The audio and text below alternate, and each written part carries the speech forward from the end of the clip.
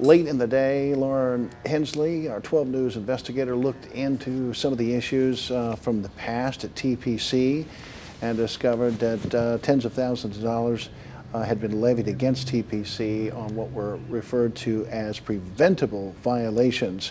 Let's take a look at that piece now. The EPA calls these high priority environmental violations that could have been avoided with better maintenance, according to both state and federal records. The documents say the facility was non compliant with the federal Clean Air Act every quarter since January 2017.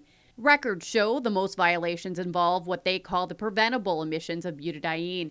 That's the chemical company officials say is burning at the plant. 12 News pressed a spokesperson at a news conference earlier today, but Troy Monk with TPC said he had no knowledge of these violations and referred us to another spokesperson. We spoke with a man who didn't want to be named but says he worked at this plant for a number of years.